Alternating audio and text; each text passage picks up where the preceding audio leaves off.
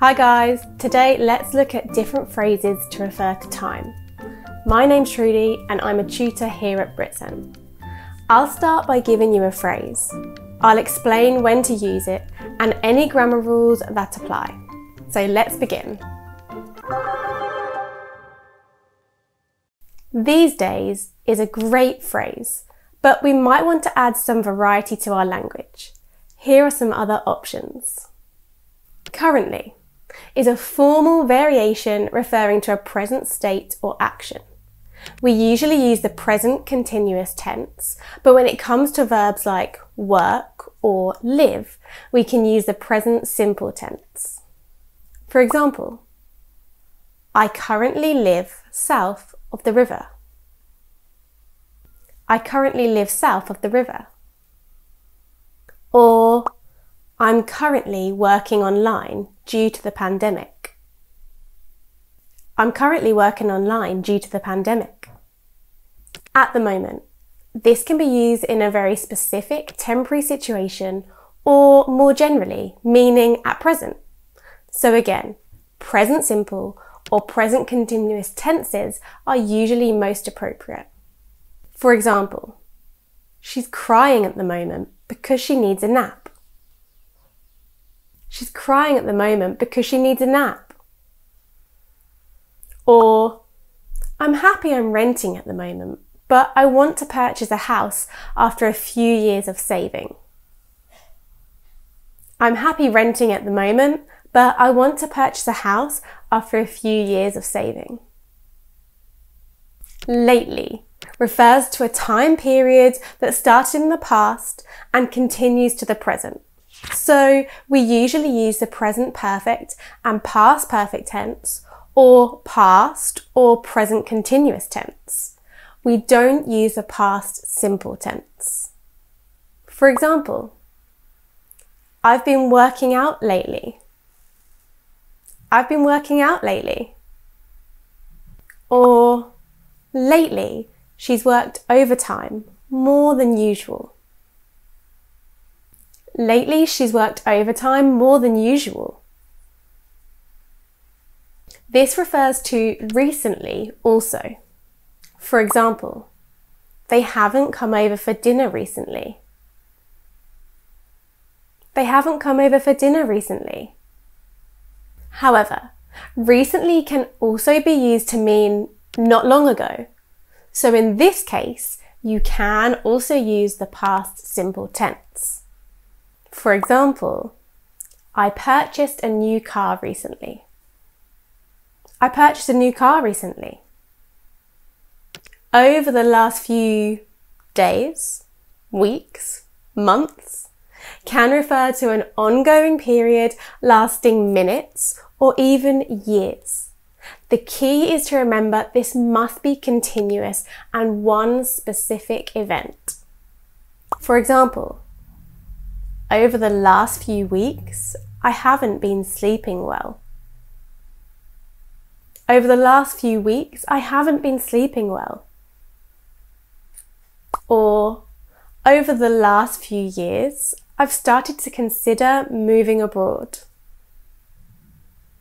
Over the last few years, I've started to consider moving abroad. Moving on. Imagine yesterday was a Monday which means Sunday was the day before yesterday.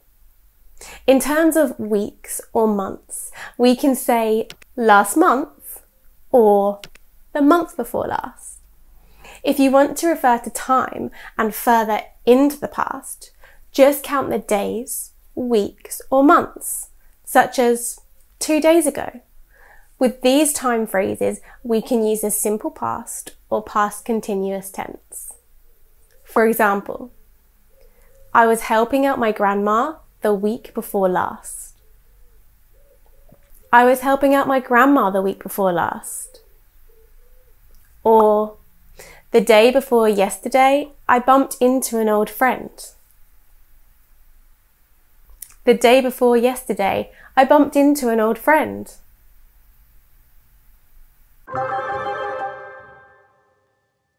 As time goes by, this phrase can cause problems for students for many reasons. Firstly, we must consider the tenses.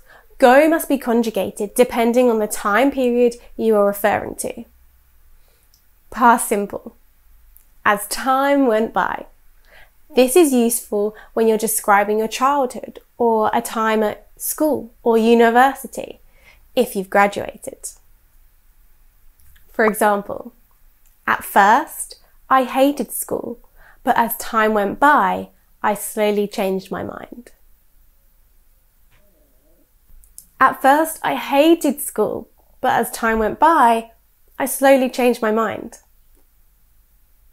For a situation that is current, we can say as time goes by, such as I was frightened, but as time goes by, I'm getting more and more excited. I was frightened, but as time goes by, I'm getting more and more excited. As our examples demonstrate, this phrase refers to a process or change that has happened or is happening over a period of time. So, when using the present tense, as time goes by, we use a continuous tense. For example, I quit smoking a few weeks ago, and as time goes by, I'm noticing the benefits. I quit smoking a few weeks ago, and as time goes by, I'm noticing the benefits.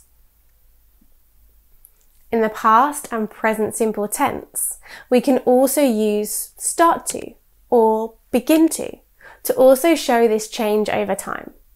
For example, as time goes by, I'm starting to feel fitter. As time goes by, I'm starting to feel fitter. I hated the song but as time went by, I began to love it more and more. I hated the song, but as time went by, I began to love it more and more. To emphasize the progress, we often add more and more or less and less after a verb or before an adjective. For example, as time goes by, I'm becoming more and more confident.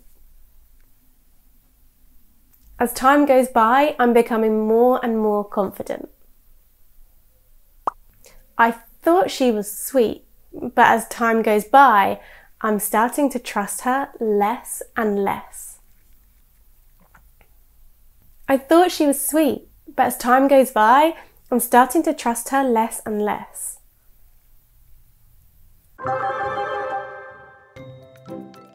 Check out our other great content here and on our Instagram page, and I'll see you in the next video.